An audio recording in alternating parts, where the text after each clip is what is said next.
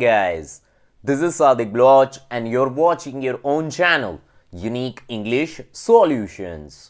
Friends, ધોરણ દસ અને ધોરણ બાર માટેના વિદ્યાર્થીઓ માટેની ખાસ અગત્યની સૂચના આજે અત્યારના હું આપી રહ્યો છું વીડિયો આપણે બનાવીએ છીએ ધોરણ દસ માટે પરંતુ જો તમે બારમા ધોરણમાં અભ્યાસ કરી રહ્યા હોય અને આ વર્ષ શૈક્ષણિક વર્ષ બે હજાર વીસ એકવીસમાં, એટલે કે આ વર્ષે તમારી જો બોર્ડની, બારમા ધોરણની કે દસમા ધોરણની એક્ઝામ હોય, તો નીચે ડિસ્ક્રિપ્શનમાં આપેલી લિંક ઉપર ક્લિક કરી અને તમે તમારી પેપર સ્ટાઇલ જોઈ શકો છો. જેની અંદર દરેક વિષયો મોજૂદ છે.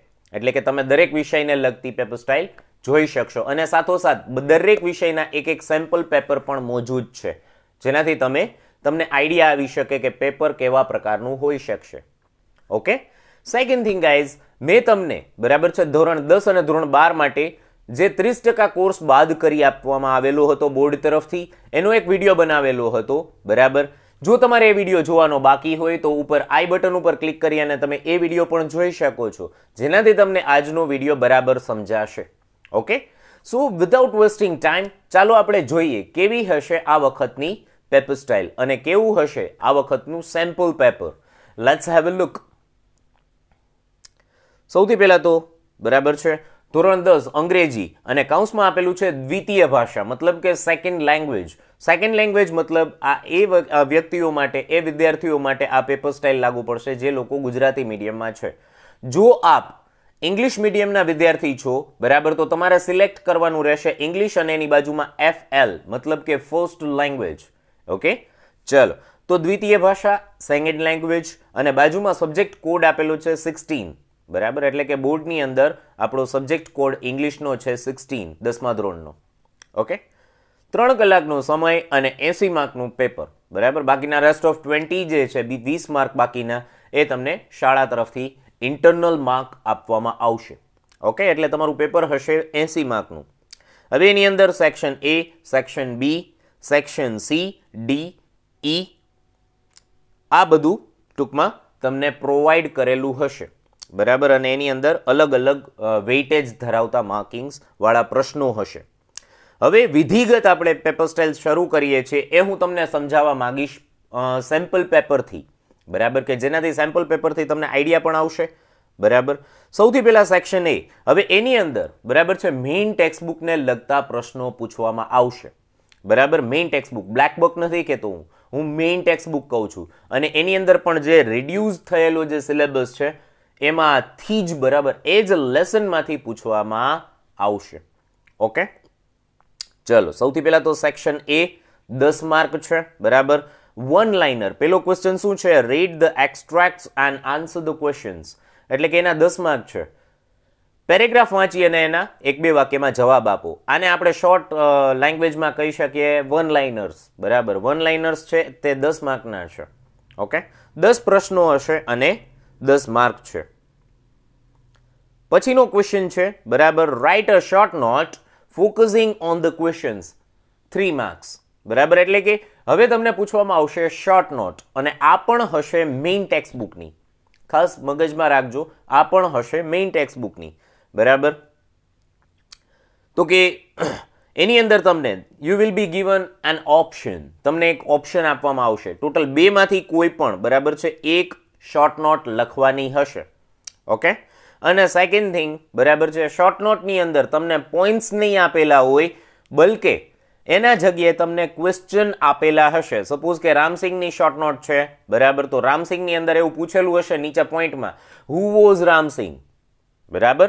બાકી અગાઉના પેપર સ્ટાઇલ પ્રમાણે તમે જોવા જાઓ, બરાબર? તો એની અંદર એવું આપેલું હતું, બરાબર છે અ હ્યુમન રોબોટ બરાબર છે? અથવા તો ધ ઓનર પ્રેમ ચોપડા. તો આવા પ્રકારના મુદ્દાઓ આપેલા હતા. પરંતુ હવે મુદ્દાઓ નહીં આવે, એની જગ્યાએ પ્રશ્નો પૂછેલા હશે. Who was Ramsingh what was his crime બરાબર છે.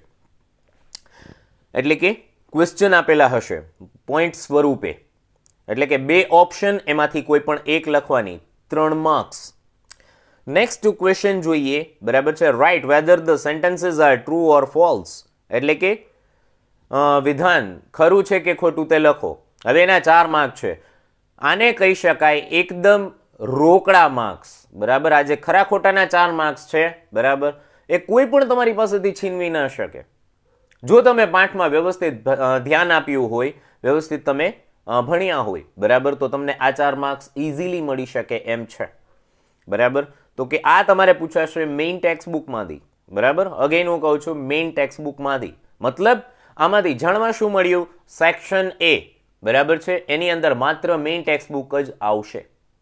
ઓકે ચલો. સેક્શન બી હવે સેક્શન બીની ચર્ચા કરીએ. એની અંદર શું આવશે? તો કે સૌથી પહેલું જે છે, બરાબર? પહેલું ક્વેશ્ચન શું છે? તો કે એ પણ વન લાઇનરને લગતો જ છે. પરંતુ એની અંદર પૂછાશે પોએમ જે તમે પેલી અને બીજી પોએમ જે પૂછાવાની છે, બરાબર? એ પોએમના સ્ટાન્ઝા હશે. અને એ સ્ટાન્ઝાની નીચે એના એક બે વાક્યમાં જવાબ તમારે આપવાના હશે. પ્રશ્ન જે પૂછેલા હશે, બરાબર, એના તમારે જવાબ આપવાના હશે. આ કેટલા માર્કના હશે? તો કે આ હશે ત્રણ માર્ક્સના, બરાબર? There will be three questions and you need to give the answers okay ત્યારબાદ પછીનો જે ક્વેશ્ચન છે, બરાબર read the paragraph and answer the questions એટલે કે પેરેગ્રાફ વાંચી અને પ્રશ્નોના જવાબ આપો. આના હશે પાંચ mark.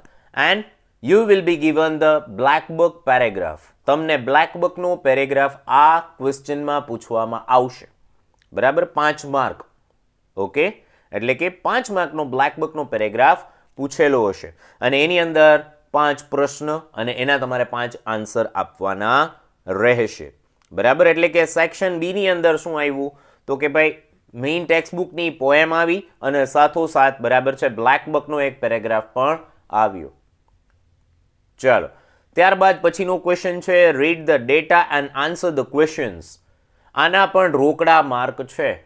ગાઈઝ બિલીવ મી આના પણ રોકડા માર્ક છે. બરાબર? જો તમે પ્રેક્ટિસ વ્યવસ્થિત રીતે કરો, તો આ પણ રોકડા માર્ક આપી જાય એવો ક્વેશ્ચન છે. હવે આમાં શું હશે? તો કે નોન વર્બલ ડેટા પૂછેલો હશે. કોઈ પણ ટેબલ સ્વરૂપે, કોઈપણ એડવર્ટિઝમેન્ટ સ્વરૂપે અથવા તો કોઈ પણ એક લેખિત માહિતી સ્વરૂપે તમને એક માહિતી ઇન્ફોર્મેશન આપેલી હશે અને એની નીચે એ જ માહિતી, એ જ ટેબલ, એ જ એડવર્ટિઝમેન્ટને લગતા ક્વેશ્ચન્સ તમને પૂછવામાં આવશે. તો આને કહેવાશે નોન વર્બલ ડેટા બરાબર? એના કેટલા માર્ક્સ છે? ફાઇવ માર્ક્સ અને જેને હું કહું છું, રોકડા માર્ક. બરાબર? તમે ઇઝીલી ગેઇન કરી શકો છો. ત્યારબાદ આવે છે ઇન્ટરવ્યૂ ઇન્ટરવ્યૂ જે છે, બરાબર, તમને એક બે વ્યક્તિઓનો અથવા બેથી વધારે વ્યક્તિઓનો સંવાદ આપેલો હશે, એક સ્પીચ આપેલી હશે અને એ સ્પીચ ઉપરથી તમારે નીચે એના ક્વેશ્ચનના આન્સર આપવાના રહેશે. બરાબર? એ સંવાદની અંદર, એ પેરેગ્રાફ એ સ્પીચની અંદર, બરાબર છે? તમને એના જવાબ મળી જ જશે. આ કેટલા માર્કનું પૂછાશે ઇન્ટરવ્યૂ તો કે ચાર માર્કનું. બરાબર? આ પણ રોકડા માર્ક છે. આ હશે unseen paragraph unseen speech unseen interview. બરાબર? આ તમે ક્યારેય પહેલા પેરેગ્રાફ જોયેલો નહીં હોય. બરાબર? એટલે કે આ બારથી પૂછાશે. પરંતુ મુદ્દાની વાત એ છે કે તમે પેરેગ્રાફ વાંચી, તમે અંદરની માહિતી વાંચી અને તમે ઇઝીલી આન્સર્સ આપી શકશો. Okay? So four marks for the interview now comes the section C હવે આપણે ચર્ચા કરીએ સેક્શન સી તરફ. મારો મોસ્ટ ફેવરિટ સેક્શન છે. કે જેની અંદર, બરાબર છે ફંક્શનલ ગ્રામર ભરી ભરીને આપવામાં આવેલું છે. તમે ઇઝીલી બરાબર છે, તમે આમાં માર્ક્સ ગેઇન કરી શકો છો. બરાબર કેબીસી રમતા હોય તો કેબીસીની અંદર કેમ એક એક સાચો જવાબ અને દોઢ દોઢ બબે ત્રણ ત્રણ લાખ રૂપિયા મળતા જાય છે. એવો જ પ્રકારનો સેક્શન સી છે. ઓકે? સૌથી પહેલો ક્વેશ્ચન એમાં કહે છે, તેત્રીસ, ચોત્રીસ, પાંત્રીસ. Question number thirty three thirty fourth and thirty fifth બરાબર આ શેનો હશે? તો કે match the language functions with the sentences એટલે કે નીચે આપેલા વાક્યોને યોગ્ય ફંક્શન સાથે જોડો.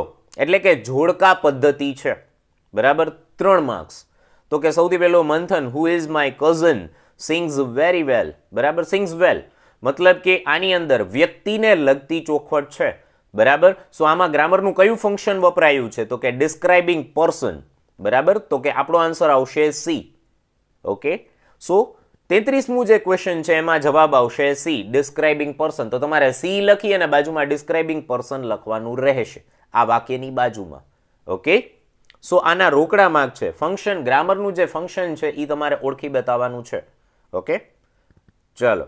પછીનો ક્વેશ્ચન છે choose and write the appropriate response to complete the conversation એટલે કે નીચે આપેલી ચર્ચાને, વાતચીતને પૂરી કરવા માટે, બરાબર છે? યોગ્ય ટૂંકમાં રિસ્પોન્સ સિલેક્ટ કરો. હવે આ પણ ફંક્શનલ ગ્રામરને લગતું જ છે. અને ફાયદાની વાત એ છે કે આ એમસીક્યુ સિસ્ટમમાં પૂછવામાં આવશે. જેના ત્રણ માર્ક છે. બરાબર? છત્રીસ, સાડત્રીસ, આડત્રીસ. ઓકે? તો આ જે ક્વેશ્ચન છે એ તમને ફંક્શનલ ગ્રામરના જ પૂછેલા છે, પણ વિથ અલગ રીતે. ઓકે? ચલો. પછીનો ક્વેશ્ચન છે complete the sentences choosing the correct option focusing the functions in the brackets again functional ગ્રામરને લગતો ટોપિક બરાબર? ત્રણ માર્ક અને એ પણ એમસીક્યુ સિસ્ટમથી પૂછેલો હશે. મતલબ કે ઓગણચાલીસ, ચાલીસ, એકતાલીસ, આ પ્રશ્ન પણ ફંક્શનલ ગ્રામરને જ લગતો છે. બરાબર? ઇન શોર્ટ સેક્શન સીની અંદર તમને નવ માર્કનું ફંક્શનલ ગ્રામર પૂછેલું છે. ઓકે? ચલો.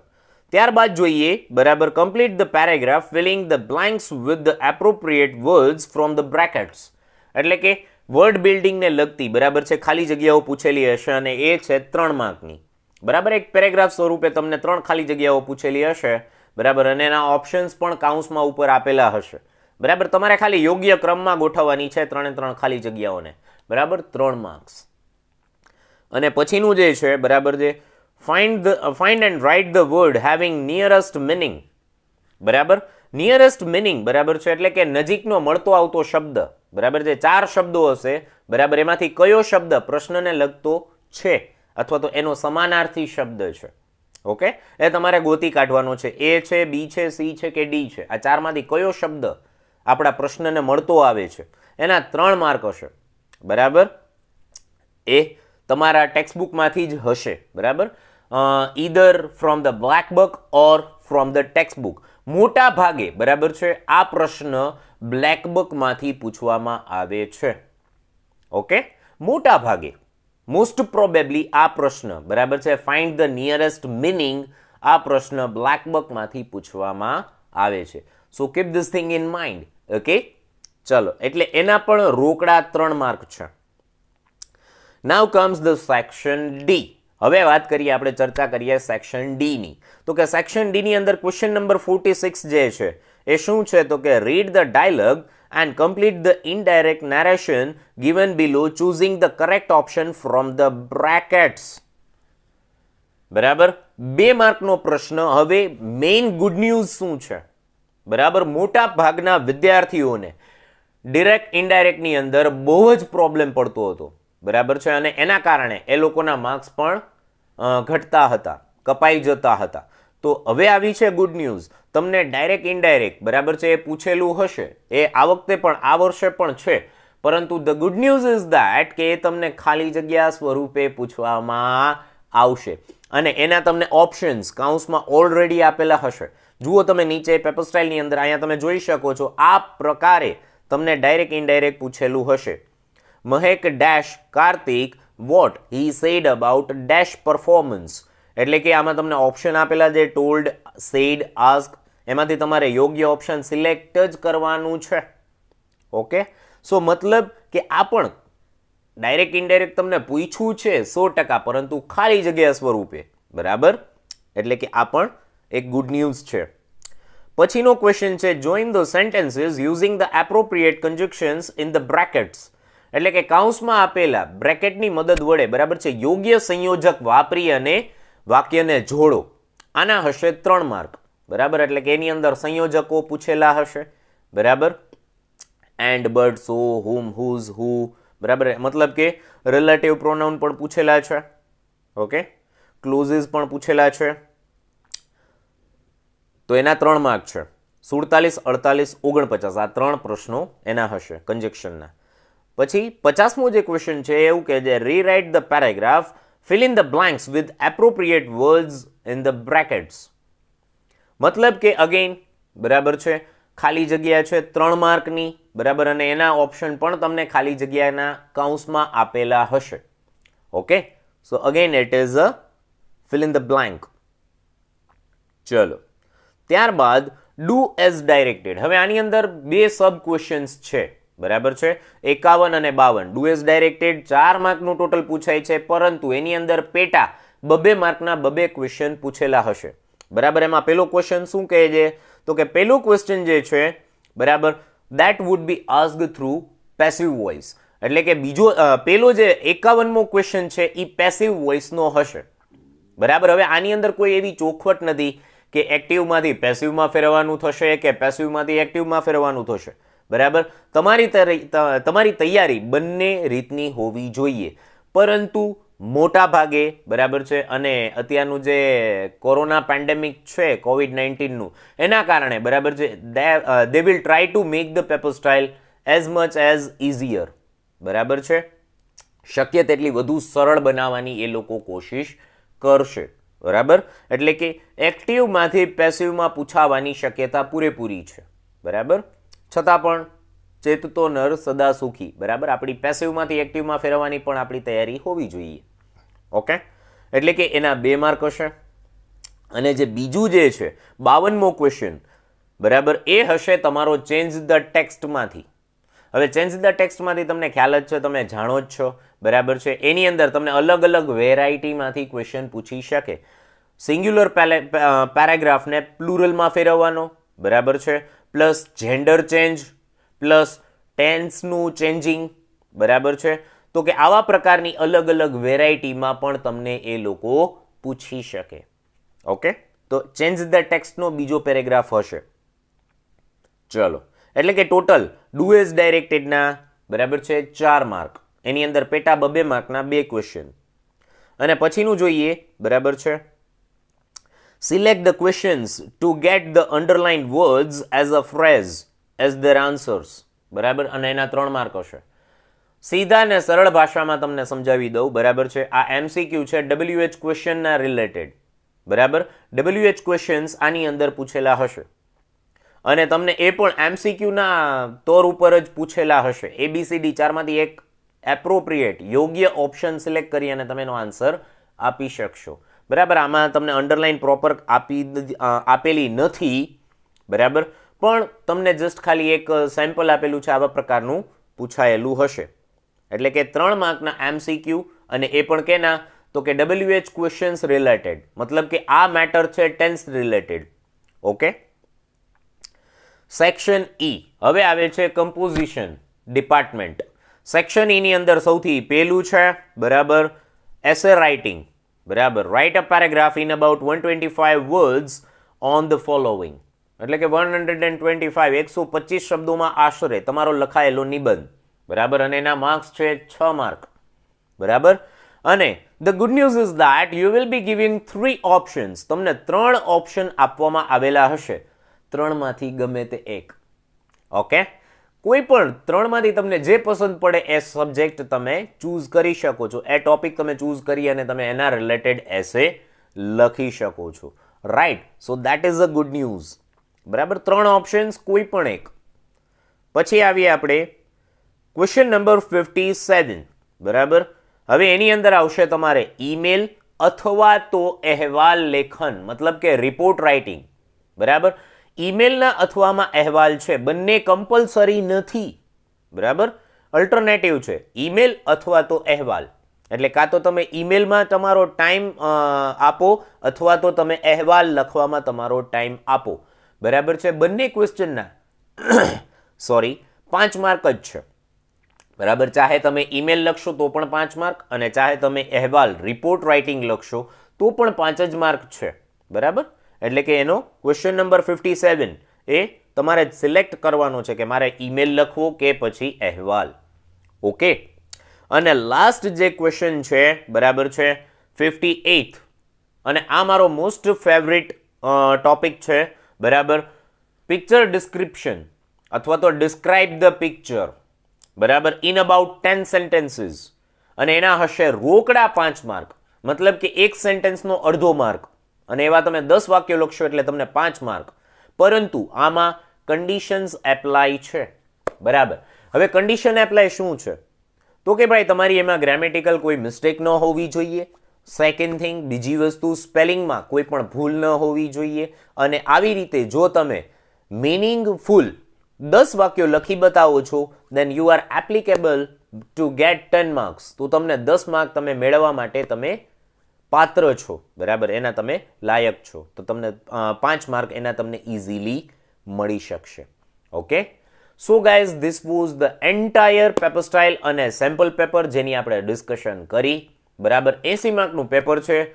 I wish you best of luck. બરાબર? તમે સારું એવું તમે પરફોર્મન્સ આપો અને વાંચતા રહો. ટોટલી દસમા ધોરણનું પ્લેલિસ્ટ આપણે ઓલરેડી મૂકેલું છે. બરાબર, જો તમારે કોઈ પણ લેસનની અંદર તમને પ્રોબ્લેમ પડતો હોય, બરાબર, તો textbook as well as black book આખે આખો આપણે સિલેબસ મૂકી દીધો છે, જે આ વર્ષ પૂરતો પૂછાવાનો છે, તો તમે એ જોઈ શકો છો. So this much is enough for today આજ માટેનું આટલું કાફી બાકીનું the day after tomorrow till then hasta la vista have a nice day